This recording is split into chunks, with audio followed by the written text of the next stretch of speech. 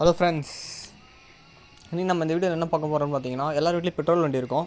Petrol வண்டிக்கு நம்ம life டைமில் எவ்வளோ பெட்ரோல் போட்டிருக்குன்னு சொல்லிட்டு யாரும் இது வரைக்கும் நம்ம கேல்குலேட் கூட பண்ணியிருக்க மாட்டோம். சும்மா துறையமாக போடுவோம். ஒரு நூறுரூபா இரநூறுவாய்க்கு போட்டு நம்ம பாட்டு வந்துனே இருப்போம். இப்போ வந்து எவ்வளோ அக்யூரேட்டாக நம்ம போட்டிருக்கோன்னு சொல்லிட்டு கேல்குலேட் பண்ண போகிறோம் இப்போ வந்து இது வந்து டிவிஎஸ் எக்ஸல் ரெண்டாயிரத்தி பதிமூணு மாடலு இந்த வண்டி வந்து நம்ம ஏழாயிரத்தி எழுநூற்றி அறுபத்தி மூணு கிலோமீட்டர் வந்து ஓட்டியிருக்கோம்.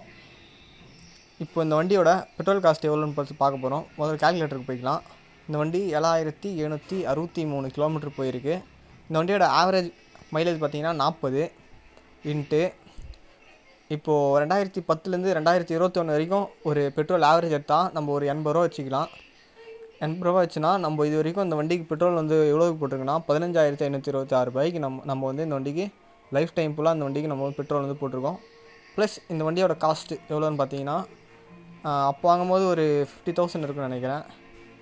ஃபிஃப்டி தௌசண்ட் கிட்ட மொத்தம் அறுபத்தஞ்சாயிரத்தி ஐநூற்றி இருபத்தி ஆறுரூபா ரூபாய் இந்த வண்டிக்காக செலவு பண்ணியிருக்கோம். அப்புறம் மெயின்டெனன்ஸ் எல்லாம் நம்ம சேர்த்தா கிட்டத்தட்ட ஒரு ஒரு லட்ச ரூபாய்க்கு இந்த வண்டிக்கு நம்ம வந்து செலவு பண்ணியிருப்போம்.